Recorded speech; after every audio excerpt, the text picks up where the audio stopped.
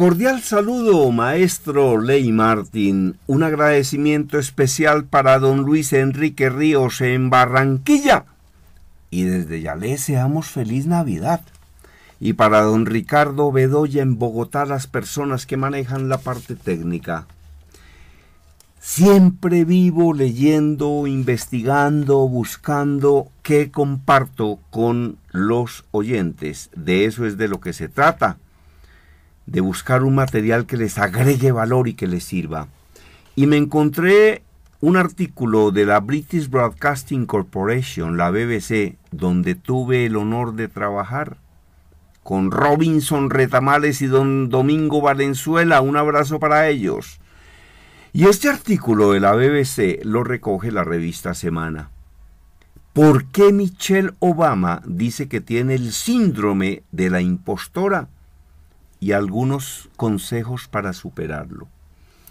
Mire, esto es absolutamente trascendental. Esto es muy importante. Gracias a Dios lo encuentro. Gracias a Dios lo leo. Y gracias a Dios lo puedo compartir con los oyentes de una voz en el camino que dirige don Ley Martín. Este artículo le va a dejar enseñanzas muy importantes escúchelo con atención y piense a ver de qué manera lo va a aplicar. La primera dama de Estados Unidos revela en el marco de la presentación de su libro de memorias Becoming que ella también padece inseguridades que le hacen creer que no merece la admiración de la gente. Queridos oyentes, la señora Obama primera dama de los Estados Unidos padece inseguridades que le hacen creer que no merece la admiración de la gente.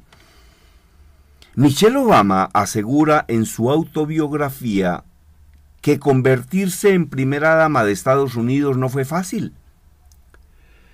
Una de las dificultades fue el protocolo, confesó en un acto con estudiantes en Londres en el marco de la presentación de su libro de memorias.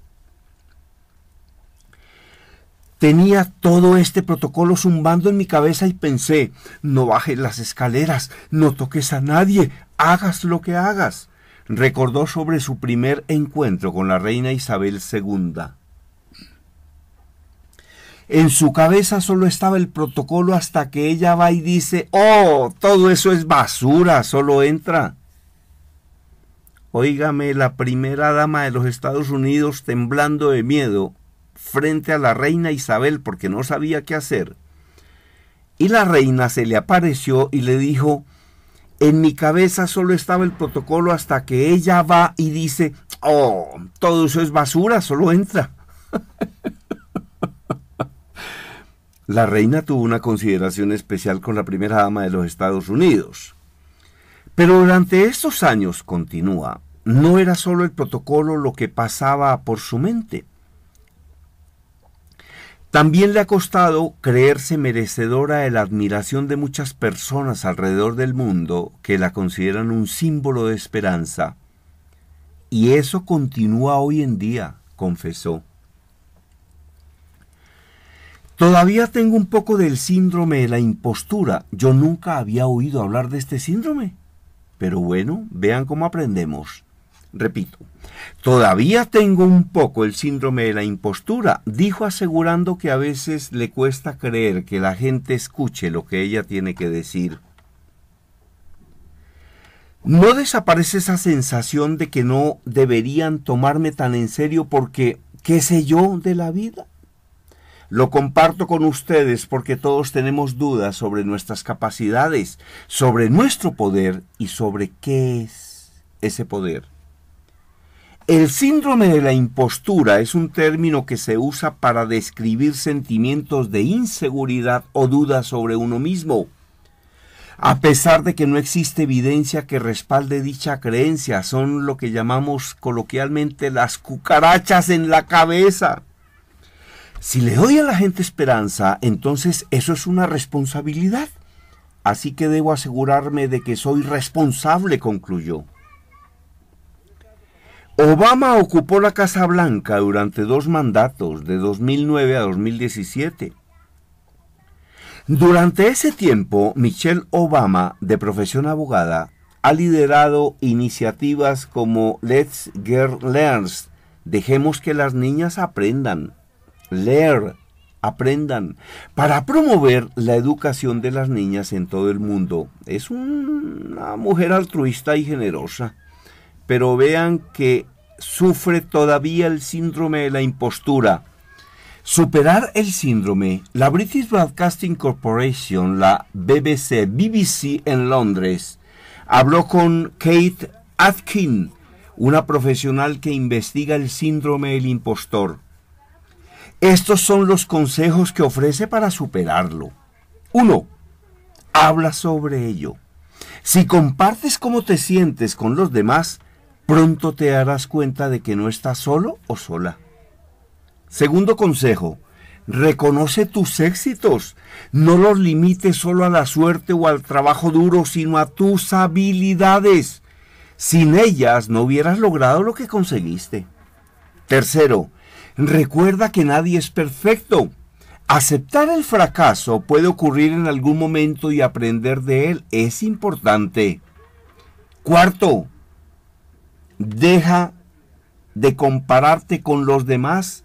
Intenta ver la evolución de cómo eras el año pasado y en qué aspectos has progresado. Bueno, yo que soy un conferencista y un asesor empresarial y un asesor espiritual. Y yo estoy dispuesto a que las personas me llamen y me, cuenten cosas que no han contado jamás a nadie y yo los escucho. Yo soy un asesor espiritual y un asesor empresarial.